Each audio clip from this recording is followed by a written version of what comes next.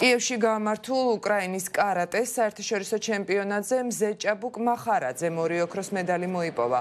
2019 წლის კიევში დასრულებული კარატეს საერთაშორისო ჩემპიონატი უკრაინის შოტოკან კარატეს ფედერაციის მიერ იყო ორგანიზ მოგზებული ამ ტურნირში 20-მდე ქვეყნის 500-მდე სპორტსმენი მონაწილეობდა. მათ შორის იყვნენ ქართველი კარატისტები.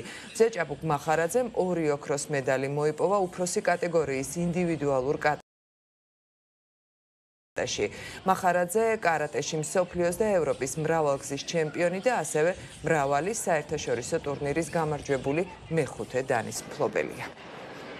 კიევში გამართა ყოველწლიური საერთაშორისო ჩემპიონატი კარატეში. მივიღეთ მონაწილეობა საქართველოს რამდენიმე კარატისტთან, მე ვიღე ორი ოქროს მედალი ინდივიდუალურ კატაში უფროსებს შორის რაც შეეხება ჩვენ წარმატებებს 2000 წლიდან ვიღებთ რეგულარულად და მთლიანობაში გვაქვს 30 მედალი ყველა სინჯის ოქროს ვერცხლის და ბრინჯაოს.